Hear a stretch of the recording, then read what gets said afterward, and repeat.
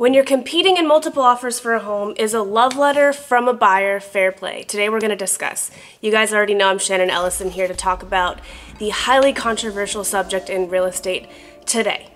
Many times over the last few years, sellers have been delighted to receive letters from potential buyers and deciding whom to choose to sell their family home to. But as the housing market continues to hit new heights over the past 18 months, buyers desperate to get a house have tried anything and everything to win the deal, from waiving all of their contingencies to paying the seller's expenses, offering um, vacation home usage, and there's even a case of a buyer pledging to name their firstborn child after the sellers. Not joking.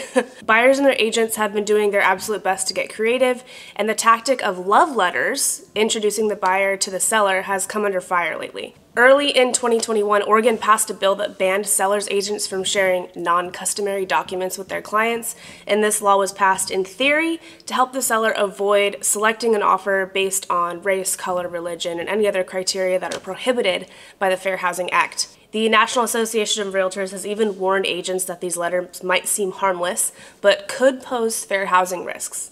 A real estate firm filed a preliminary injunction against the new law that is supposed to go into effect on January 1st of this year. The injunction states that the regulation is both over inclusive and under inclusive. So the letter may say absolutely nothing at all that could lead to discrimination or protected classes. Also, new technology such as ring doorbells enable sellers to visually see everybody that comes by anyway.